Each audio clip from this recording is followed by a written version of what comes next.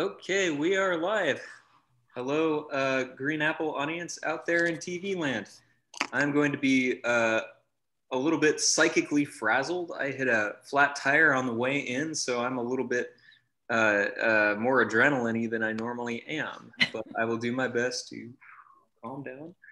Uh, as usual, we're going to start with uh, uh, some announcements and housekeeping type stuff, and then we will turn it over to our guests for the night. Uh, so, um, first things first, some upcoming events you might be interested in.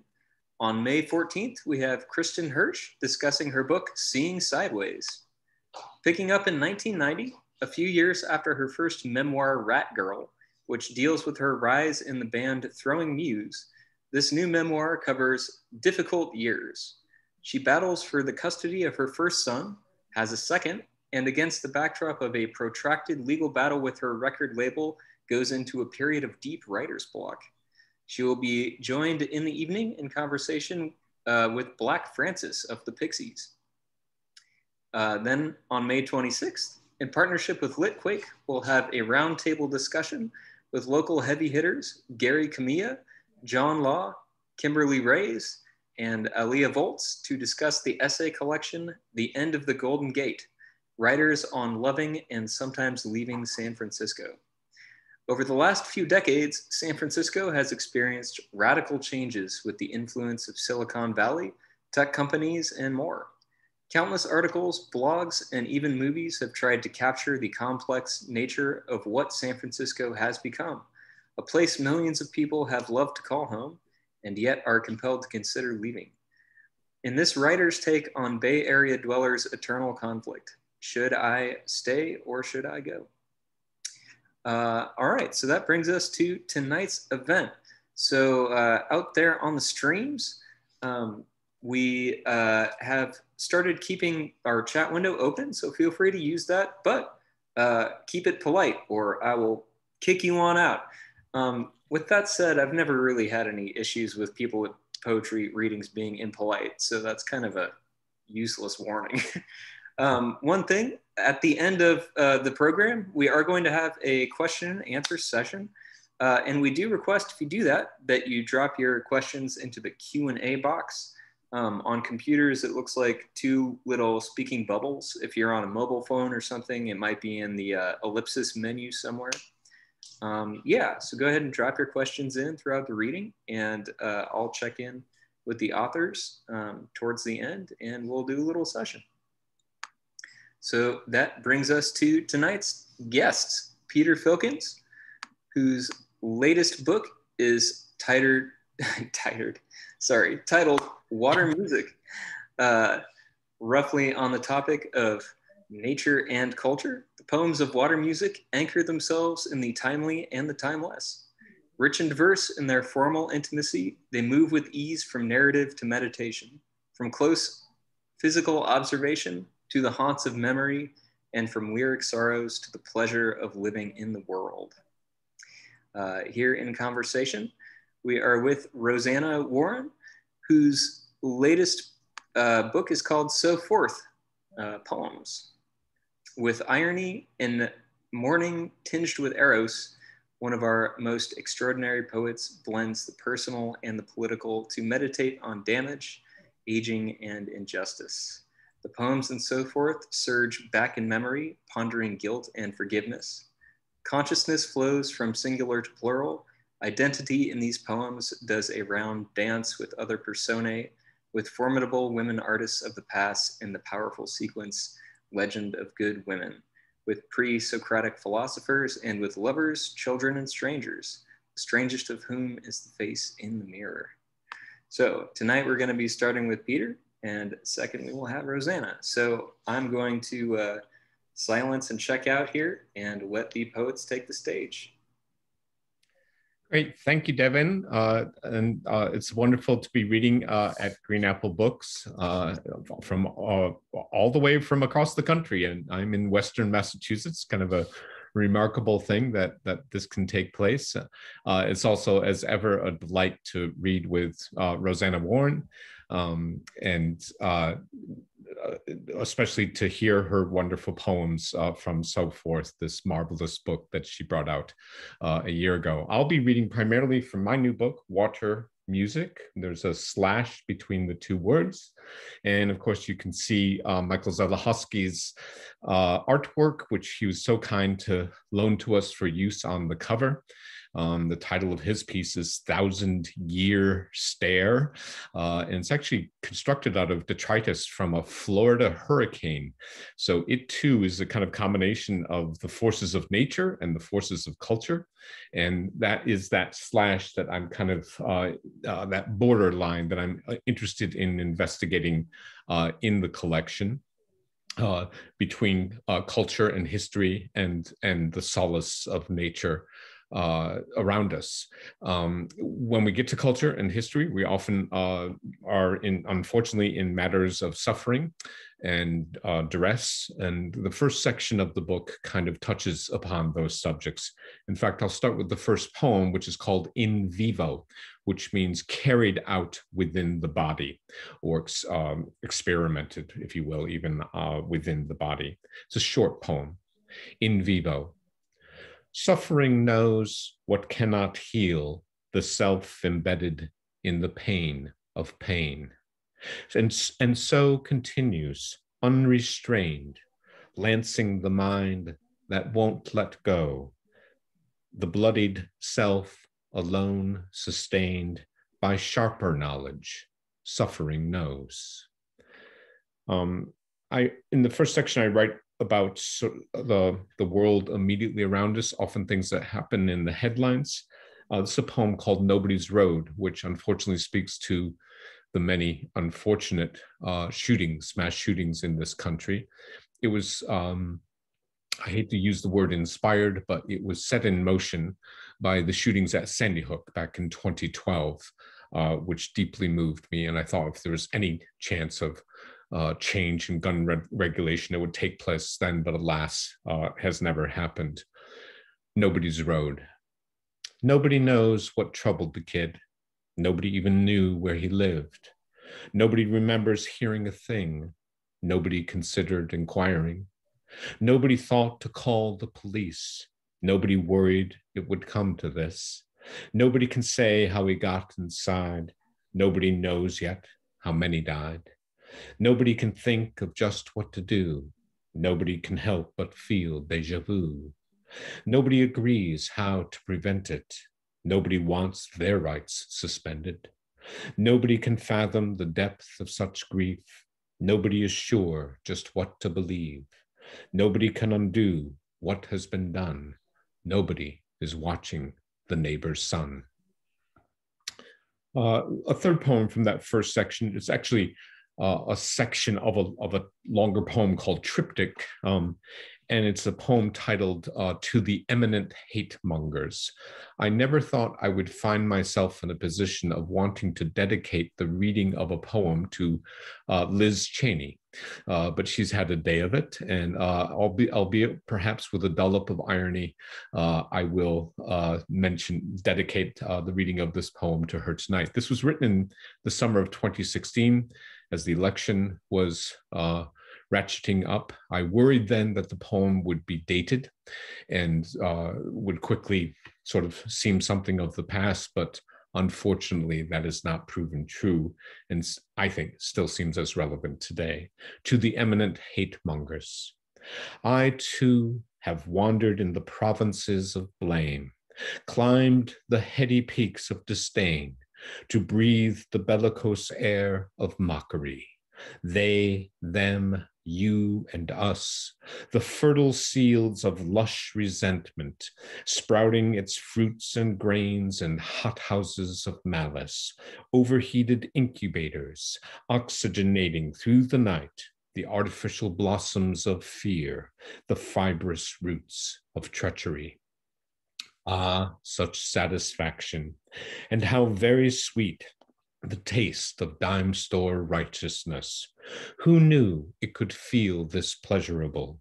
Whole counties chugging sudsy drafts of smug, oak aged vintages of anger following hard on the heels of those tasty distractions, bitterness and spite, the flourishing and succulent harvest of hate ripened on smears. Yet remember, friends, remember, beware the curse of language. Its deft perversions, once unleashed, returned, return always and ever to eradicate all who consume them, poisoning you, they, them, and us, until the very smell of knowledge or conviction or simple decency is enough to sicken, enough to cramp and roil and wretch whatever is left of the gutted truth that will undo you showing up one day in the Duchy of Triumph, there inside the Tower of Cynicism, at the resplendent ego's banquet, where softly afoot and on supple, tawny hands your heaping plates will be carried in. The cook announcing with a smile as sharp and bright as the grudge he harbors, Ladies and gentlemen, come to the table it's time to eat your meal. Um, I often say you can't live too long in that kind of space in poetry.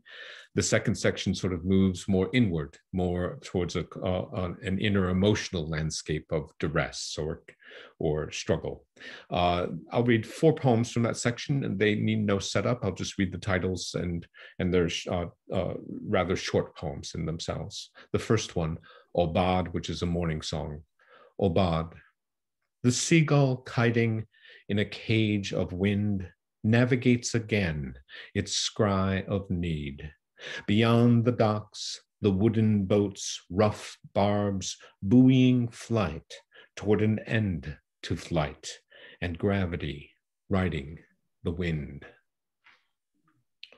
Willow.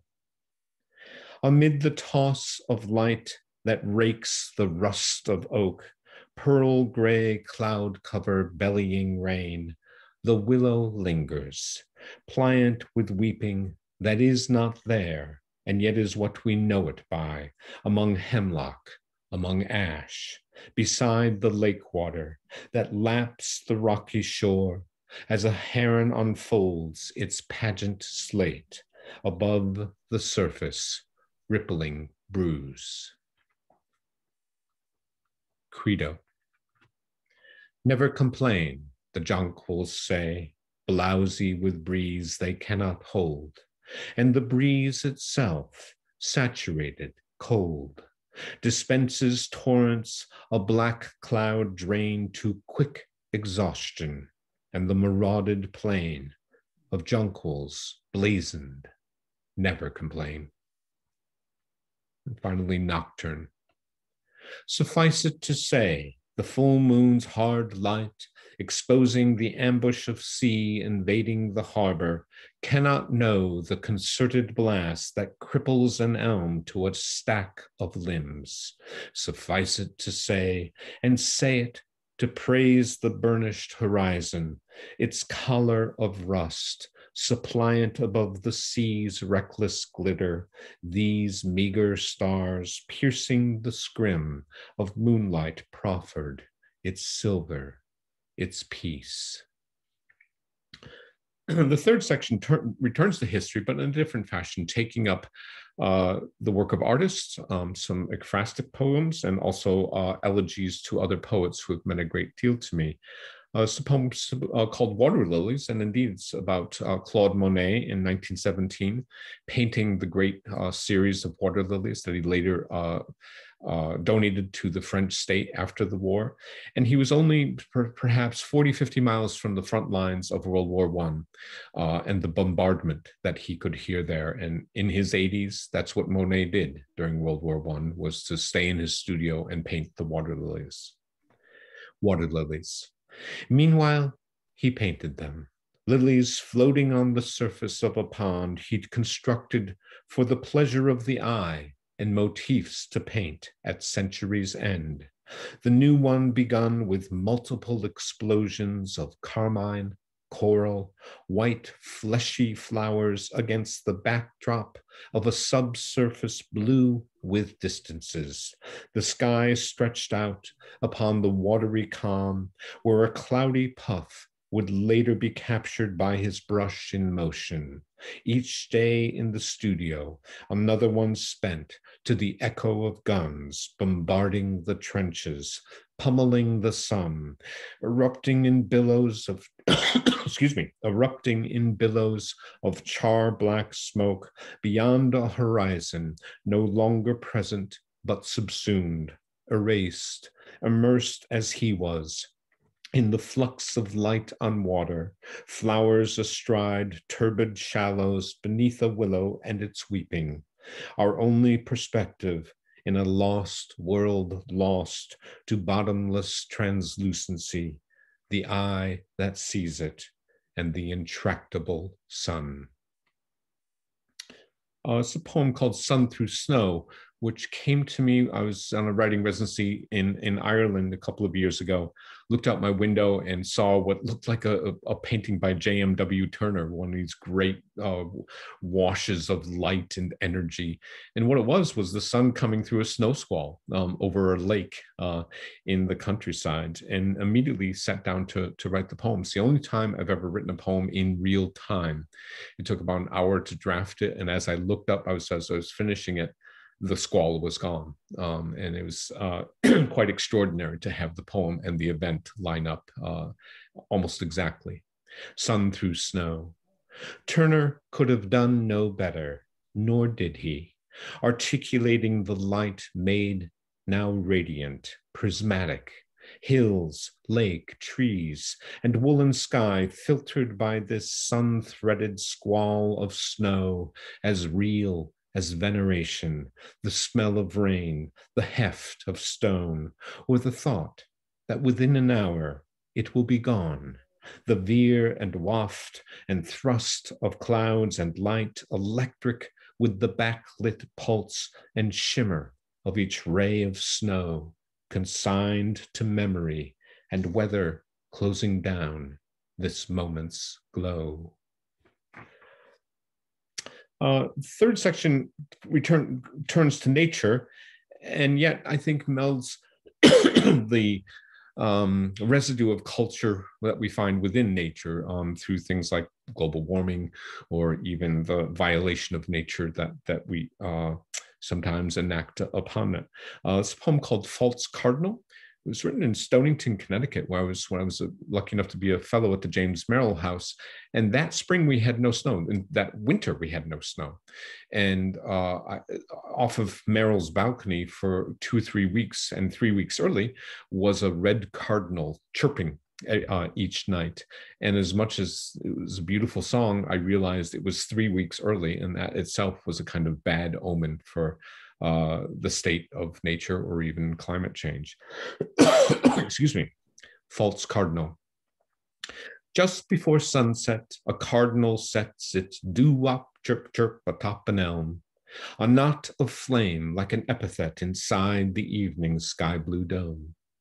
Spring again, the cardinals return now three weeks early, Revenant of a future we've come to learn will see the planet dead and spent, or not, or maybe so, while likely the cardinal's song, undulant still in its late day last call reveille, will find us at evening, facing west, transfixed and emblazoned, a cardinal sun sinking in each pane of glass.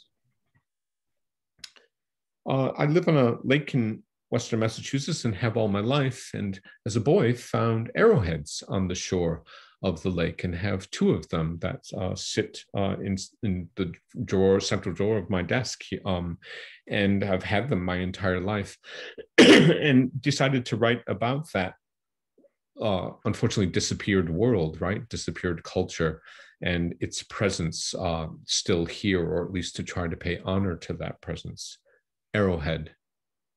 Flint point planted in moraine gravel, each beveled chink a milk gray ghost. Mohawk? Mohegan? There is no nation to water's chuffed, sun voweled surface, or the indolent trout, a shine and spotted, as an arrow aims, shoots, pierces, wild hunger gutted in the silver sheen of limp, wet fish, the chalk dry taste of history in the arrowhead that lies askant my narrow desk. Uh, and then, how's my time? I want to keep track of that. Uh, in the third section, uh, the, the last section uh, begins actually with a, uh, a quote from Theodore Roethke's notebooks, which says, If there is not another life, there is at least another way to live. And the last section, I think, tries to take up that way of living through making, and if you will, through writing um, or through observing the world and trying to make something out of it. Uh, the first poem in that section is, is uh, simply called Writings. Swallows at daybreak, pure in violet sounds, the flit and splutter of their antic rounds across lake glass, dipping their tails mid-flight and lambent, translucent inkwells left pooled and pooling toward the outer shore, a water-pocked trail, their signature. It's a poem called uh, Making Hay, which is actually an elegy for uh, Richard Wilbur, who was a dear friend, lived uh, only about a half an hour away from where I live, and used to love to go see him. And across the road from uh, his house was a farm. And so if you went to Wilbur's house in the summer, you often were greeted with the smell of hay wafting in from across the fields. Um, and it's a smell that I, I love, making hay. Dotting a fresh mown pasture, they are abstracted, lozenges of green whose yield will feed a winter's hunger with a summer's field. For now, they sit there, circumspect and salient, as totems to another time whose sickles and sighs seeded the baler's tines, this sun-baked stubble plain of Timothy and fescue configured with each pass, summer materialized in cylinders of grass. Yet, absent the sharp inflections of blade on polished hone, is there really any loss? Or is it dim nostalgia denying is for was? For its hang that remains, patient, mindful husbandry, never quite out of style, so long as the scent of clover still carries a country mile to circulate among us, lost to screens and pixels, the freshet of this summer day, sweet with its own idiom, the musk green smell of hay. And then finally, the last poem, uh, Envoy, which is really a poem about driving. Uh, I commute to college and it's a long way, and I've driven a lot of miles in my life. And so is my poet friend Abbott Cutler, to, um, to whom uh, the, the poem is dedicated, Envoy. A burl of light on a pane glass window, cold drizzle, wet snow, eruptive weather. And this, our only legacy, to know the low hung cloud that glances off a mirrored surface, yet more real than the cloud itself. Muddy April, indecisive to the last, mimicking the slap of wipers back and forth across the slope of windshield, or oddly, at the corner of Main and North, that storefront window reflecting now the curve of heaven, the noxious exhaust, pedestrians astride the polished glass, the cars rolling by, the dog on its leash. Thanks very much. Rosanna. Thank you, Peter. It's just uh, lovely to read with you. And thanks to Green Apple Books. Uh, thanks to Devin for your hospitality. I'm going to read uh, first some books from, from poems from the new book, uh, so forth, and then some new, new poems that aren't in any book yet. Um, diamonds. At midnight, the jewelry store mannequins proffer their bare necks, headless, torso-less, just the swoop of collarbone and upper chest with a meager swelling toward breasts. In chill streetlight, now they've achieved purity. Now, without distracting diamonds or the small polluted algae pools of emeralds, they soar. Love is a theorem. And what we proved, not what we paid for through the ATMs, keep spitting out bills in a rat a tat tat of chattering teeth.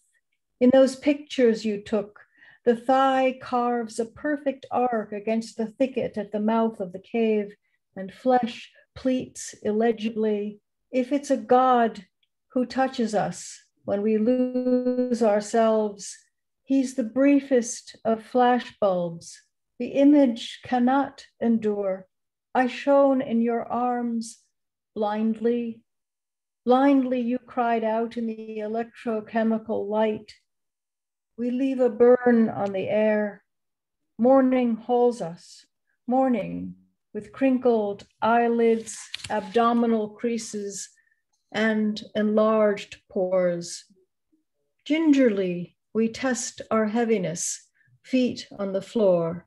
Gingerly, we hold our balance on this spinning crust of soil. Um, and then um, here's a poem uh, of uh, recognizing one's ever looming and ever ever possible mortality, uh, more or less speeded up. Scenic view. The poster in the doctor's office proposes Eden varicose peonies tilting over a lapis lazuli pool, blossoms lush, carnal, and tipsy as aging courtesans. We are not to take seriously the stainless steel. Technicians murmur incantations.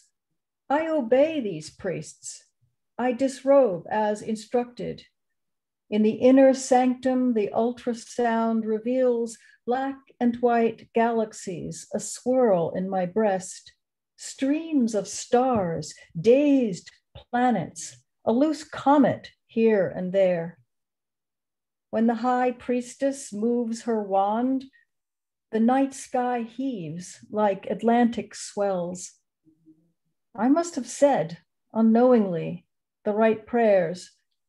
The dangerous stars have receded the gods grant me, it seems, a few more years, and I walk with you again along the lake where dim waves jitter at the breakwater and soiled, piled up chunks of ice begin to melt, and the crumbling masonry of the balustrade retains its air of raffish gentility. We call this safety. Here we may stroll, here we may pause and look out over the deep.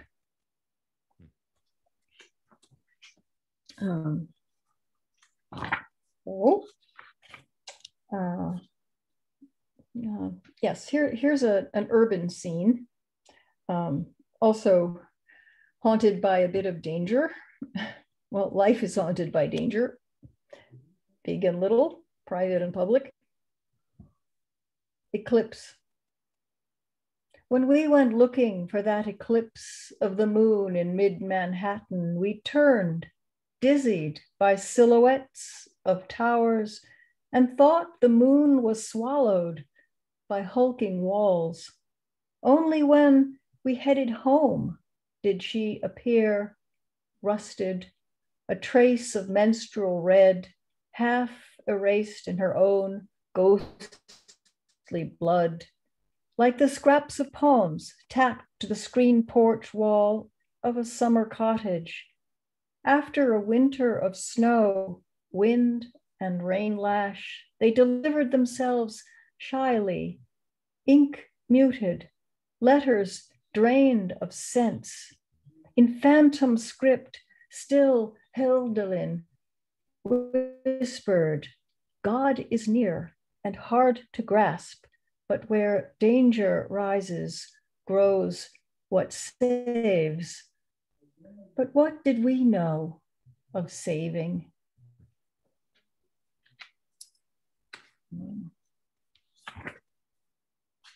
Yes, and here's a longer perspective in time. Rosh Hashanah.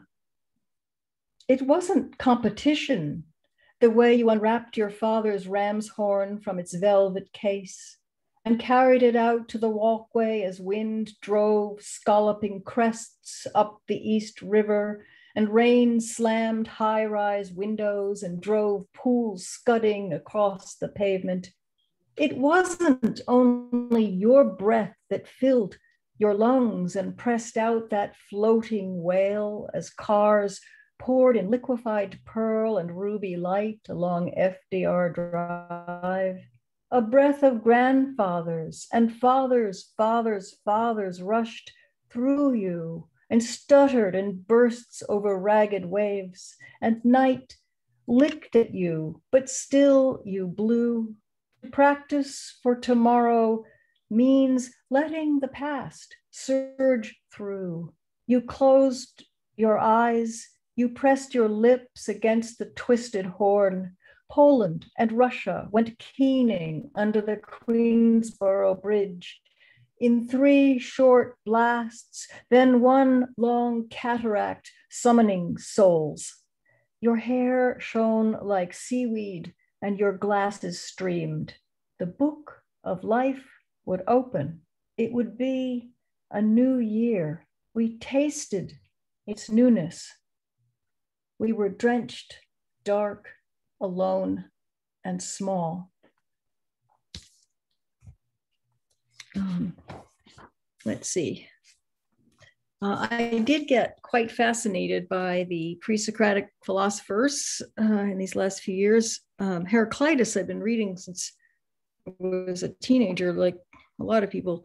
But uh, then I got friendly with um, Anaximander Place. So here's an Anaximander poem. That the earth is suspended as scilla prinks purple from half thawed clods, and the cardinal flings his ribbon of song in two high arcs, then trails the vibrato among the boughs. May unclenches, but not enough. Buds grip fetal leaves. Each night scatters frost. On sidewalks, we tread on broken sky. You are sick and far away. The world is in flux, said Anaximander. Worlds are born, appear, and disappear. We perish, even the gods fade. Spare me the industrial daffodils poking through scraps of snow. The season will have its hard birth, and we will be dragged into light. For how many years has that ill corroded your gut? Whirlwinds, typhoons break out of the cloud. The tearing makes thunder, the crack against black makes the flash. So natural philosophy began. You watched glaciers slide and crash at the tip of the earth. You floated on a rope into ice crevasses to catch the gleam and the groan. Ice sculpted the planet and sculpts it still. You hammered aluminum into that shape.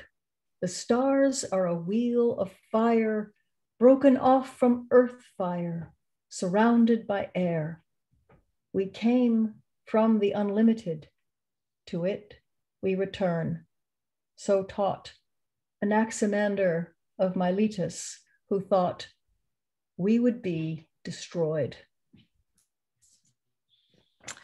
Um, that poem has uh, every day as we the planet heats up and up and up. I think more and more Anaximander was quite right.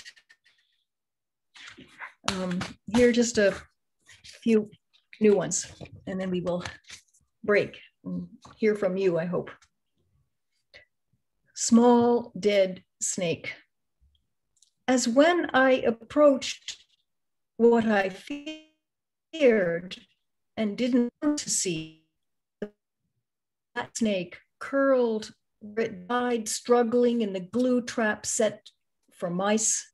And I cried out and twisted my hands, but returned to take up the trap with gloved fingers, tipped it into a plastic bag, and carried it to the woods on a shovel and dug a hole in dense root woven earth, buried it, then looked up where tall leafy branches of beech and oak carded strands of cloud.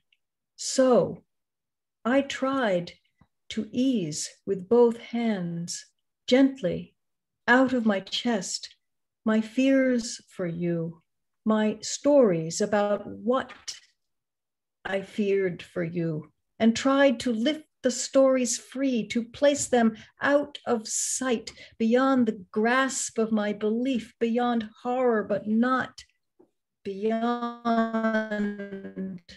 knowing what traps I had set for you, for me. Um, I think I'll just I'll just read uh, two more. Burning the bed. Carefully, you balanced the old mattress against the box spring to create a teepee on that frozen December patch behind the house. Carefully, you stacked cardboard hollow and touched the match to corners till flame crawled along the edges in a rosy smudge before shooting 25 feet into darkening air. Fire gilded each looming shadowed tree, gilded our faces as we stood with shovel and broom to smack down sparks. So much old love going up in smoke. It stung our eyes, our lungs. Pagodas, terraces, domes, boudoirs flared, shivered, and crumpled as the light caved in. Privacies curled to ash wisp, towers toppled, where once we'd warmed each limb, fired each nerve, ignited each surprise. And now at dusk, our faces reddened in heat, so artfully lit. We needed all that past, I thought, to face the night. And I'll conclude with a poem that came out last week on Poem a Day. Also set deep in nature, but also, you might say, in politics. Boletus. Crickets are stitching afternoon together. What the squalling catbird rends, crickets relentlessly repair. The maple shivers, sends yellowed messages sailing down. Too much has ripped. Half the main branch cracked off and hangs teetering across lower boughs, leaving on the trunk a blonde wound. We cross the brook on stepping stones and climb west up the mountain flank through laurel thickets along the scooped out valley of beeches up the stream bed to sit on a fallen tree. But there's no rest. We carry with us what we left below, a country clawing its very idea to shreds. The scarlet boletus mushroom prongs from decaying wood. In its bishop's amaranth skull cap, it stands its ground. One kind will nourish, the other sickens, but not like the white amanita, bringing on liver failure, seizures, death. And on that cheerful note, I thank you all for being here. all right. Thank you very much, Peter and Rosanna. That was all just great material.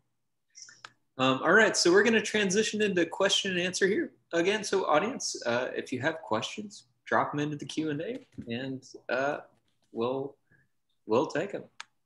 So uh, usually, I like to start question and answer with just um, asking about your processes. You know, like uh, from a very basic standpoint. For example, like uh, what part of the day do you like to write, or um, do your poems happen in fits and starts, or do they happen all in chunks, or uh, uh, from that kind of a micro all the way to the macro to like how you consider putting together um, entire collections or bodies of work you know how do you know when the thing's done hmm. uh, that sort of thing um, I, will jump in.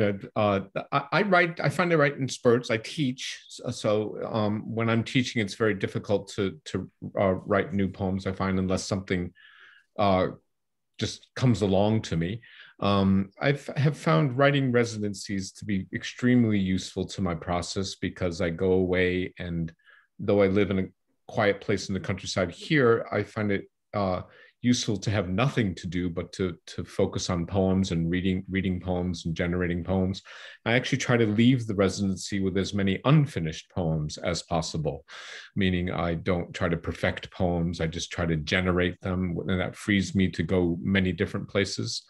Um, and then I end up, as I think was evident, I, I, end up writing about many different kinds of things, whether it's history or something in the news or uh, a painting or something in nature or something in my own experience. So the hard work of a book is to try to fit all those things together in some coherent fashion. I find sections in a book to be very a very useful way to kind of manage uh, the material and that. And as far as when I write, I I get up in the morning, I, I I'm just ready to go um, and can be there for four, five, six hours, um, and am happy to be. So. Yeah. Sorry, Devin, I didn't hear the question because I had to run across the room and make sure that the hotspot was really plugged in and providing internet. We we are I am in the mountains in the Catskills in a very remote mountain place, and in fact, it's a miracle if anyone heard me at all. I hope I hope you did hear me and. Oh yeah, good. Yeah. That's yeah, no, a miracle. We we got a couple of uh, dramatically uh, digitally stretched words, but I actually enjoyed that in a way. yeah, so it's just a general question about your process, uh, both from the micro and the macro. Micro being, you know, like when do you like to write? Uh, how do poems come up for you? Do you tend to work in fits and starts or big chunks? And on the macro, things like how you think about organizing a, a book of poems mm. you know how you feel like you're you've got a set together uh, that that kind of thing. Yeah. Well it depends. I'm sure this is true for any any writer. It depends what what uh, phase of life you're in.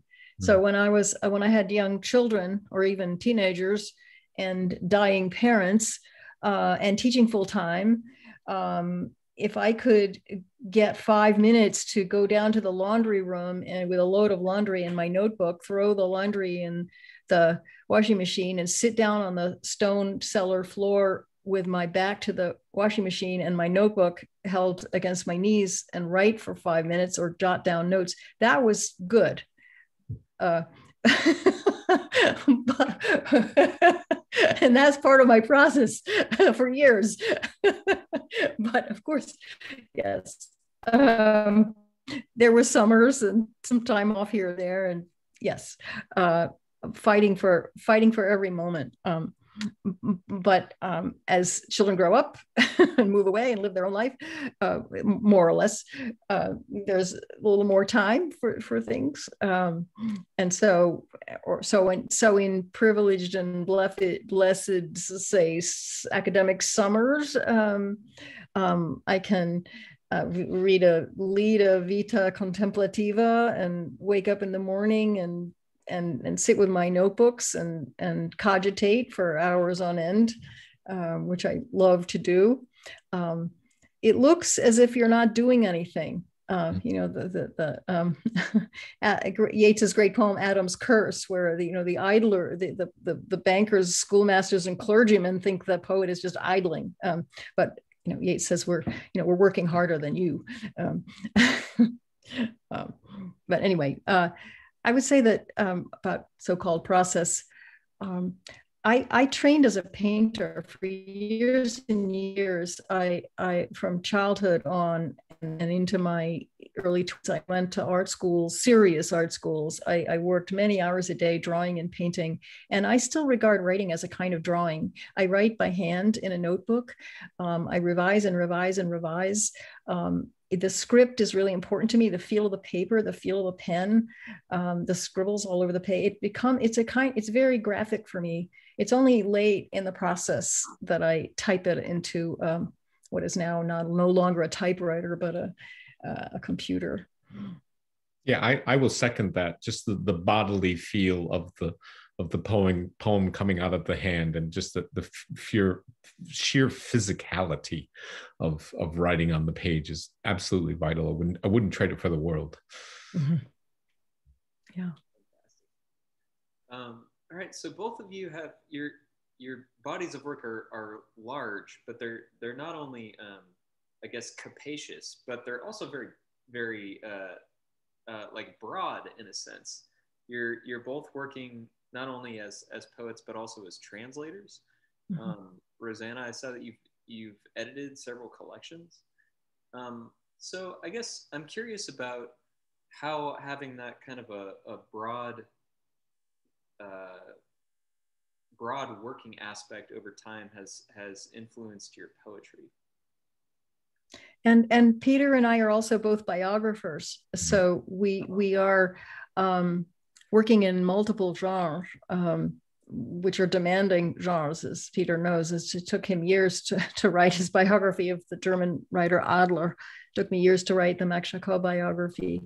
Um, uh, but um, um, what can I say? Uh, I under anything I've undertaken was out of love for literature, and the poems grow up out of this huge mulch of, of other people's poems that I might be translating or the biography of someone, a, a poet, in my case, a French poet. I was writing and living in his soul and in his work and translating it and writing his life. Um, so it all felt like a form of fecundity to, to me. I don't know, Peter, how you feel about it. Yeah, no, it's I mean, look, the the gift is to immerse oneself in language, and as many different ways you get to do that, the the better. Um, it's um, and you know, translation is an extension of my writing life. I I get to write novels. I've never written a novel, but I I get to shape and pen a novel, if you will, or several of them through translation. Uh, and writing a biography is. Uh, you know shaping a life and and again trying to tell somebody's story uh, or the story of their inner life. Uh it's it's it's all one continuum i find. And and there's only so many hours per day that you can immerse yourself in poems or only so many days per year. Um you know i can't remember who said it um I, the, the poet gets up and you know works for two hours and then says now what? Uh well there's there are more hours in, in the day. So um it's uh, it, it's just part just part of the work of working with language in any way one can. Great. Um so this is mostly going to be a question for you peter but um rosanna you had also uh, mentioned here and there uh, that climate change is on your mind but um so I actually just started reading this book. Uh, this might be a weird thing to do, but uh, I started reading this book, which is by an uh, an Icelandic author who hmm. prim- primarily is a, an historian and writes about mythology. Huh? And the idea is that somebody asked him why he wasn't writing about climate change, and mm. his response was, "Oh, I don't really understand the science. I'm I'm like a humanities guy." And uh, after thinking about it a little bit more, he decided to to kind of write around the idea, and the the metaphor that he uses in the introduction is that of uh, the photograph of the black hole, hmm. where mm. photographically you can't really um, resolve what's in the black hole because our cameras don't work that way. So the scientists have to image what's around the outside. Um, and he compared that to the way that the human mind thinks about climate change, where it, it's such an enormous problem that it's difficult for most people to, to really like keep it all in mind all at once. Um, so I guess I've just been thinking about different uh, artistic approaches to uh, nature and climate and that kind of thing. And I'm, yeah. I'm just kind of wondering how how both of you approach that in terms of keep keeping such a large idea in the mind and then like work, working with it. Uh, boy, am I glad you asked that question. That um, that it, it is something that has really uh, begun to uh, interest me. Um, dare I say, even haunt me in recent years, because the, the climate is going to change so drastically, and our relationship with nature is going to change so drastically. Having lived in the countryside my whole life, I take tremendous solace from the natural world and, and feel very grounded within it. But what happens when when nature becomes almost pure nemesis because of the extremity of, of conditions of weather and, the kind of again suffering that is going to be unleashed uh, upon uh, the poorer regions of, of the earth and that we will be witness to it. So, what do I do as a poet? Well, I, I, I'm trying to, at least in this book, trying to both face um, the the ravages that are beginning to happen in the climate. Something like false cardinal shows up three weeks early and and that that you know red sun setting at the end of that poem means it's going to be another hot day um, coming. Uh, i have a poem right next to it called forecast which is even bleaker uh, in its sort of long-term forecasts uh, for the climate but then the other side i think is really important to try to write and acknowledge how wondrous and beautiful and rich and supple the natural world is. Um, and, and there I come back. The, the poem I feel most guilty about in the collection is the hay poem, the making hay poem. Because I know that I, am no fool. I know that you know, uh, you know, cattle and hay and is you know part of the whole problem. But I don't want to live in a world where I don't love the smell of hay, um, or I'm going to have to find something else uh, to love. We have to we have to live and love in the world uh, as well, and I think that's the challenge. So I want to I love that sense of the black hole, Devin, because I'm I'm I'm trying to write around those edges, but all the edges, the tougher edges, and the uh, more pleasurable edges as well. Yeah. Um, your question, I think, is is uh, Devin, is about partly it's about imagination, about what the human being simply cannot imagine. And our politics uh, around climate change are largely about refusing to imagine or the impossibility of imagining. And therefore, the short term dramas and problems and schemes and power plays occupy uh, most people's attention and resources. Um, so they can put it aside because it's just not convenient um, to think about what you can't think about in a sense most of us um, and yet it, the evidence is all around us I mean, just look at online in the new york times today that appalling climate map if you've seen it of the united states uh, since 1911 and every every year it's getting redder and redder and redder and how how can you ignore that let alone what you just look out and see around you um, whether it's more typhoons or more forest fires, et cetera. We can all make that list. Um, uh, but the, for the, I think for any topic, climate change or anything, the, the task of the poet is, uh, as Peter said, partly it is to be um, honoring language, honoring how language works, um, and making it strange again because we denature language by by um, by uh, ab- abusing it, by constantly uh, you know, wearing it down with cliches. But our other task is imagination. It is to find the way to, to bring the our imaginations al- alive. Um, so I think that the poem is not a treatise or a, a scientific tract, and it doesn't it can't ignite the imagination that way. So I think that the oblique ways, like Peter's Cardinal, or red sun are are the ways that you could might hope to catch someone's catch someone's inner in soul the soul's attention. Um, so in my poem, my Anaximander poem, it's focused really very, it's very, if you were thinking cinematically, it's very close up to the plant scilla and the single cardinal song. And then it's addressed to an unnamed you who's sick, but who has been working in Antarctica about, about ice. Um, and then from there, put that into tension with Anaximander's rather apocalyptic imagination about worlds disappearing. Um, that's just one poem in one way that came it didn't i didn't strategize ahead of time saying i'm going to write a poem about climate change but um, it, it, it emerged from the elements that uh, that I, I live with. Um, if that's any help. But I do, I do think when i look at the politics of our country now anytime i think it's not entirely but largely a problem of imagination a, a problem of moral imagination. Can we imagine the pain of others if we could, we might start doing something effective.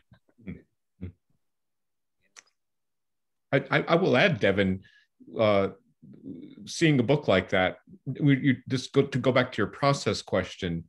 When somebody thank you. I mean, when somebody offers up a book like that, that's the kind of thing I'm going to make a beeline for, and, um, because there's probably something to steal and make use of for it. Uh, it's that maybe something one can find something uh, to start, like Rosanna is saying, uh, to start an act of imagination uh, in, in, a poem, a lyrical lyrical imagination.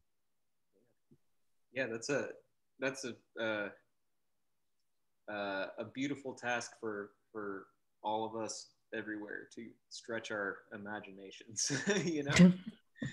uh, um, all right, so we're kind of rolling up on the seven here. Uh, so I think we're we're probably gonna gonna close it out, but just uh, you know, just to wrap up here, um, if, if you're interested in in other events like this, uh, you can always go to greenapplebooks.com/event and uh, get a calendar of all the stuff we have happening. And uh, once again, we've been talking with Peter Filkins, whose uh, most recent book is Water slash Music, and Rosanna Warren, whose most recent book is So Forth. And that's it for the night. Thank you. Thank you, everybody. Thank you, everybody, for coming. Thanks, Rosanna. Thank Thanks. You. Thanks, Thanks Peter. Thanks, Devin. Thank you both. Good night.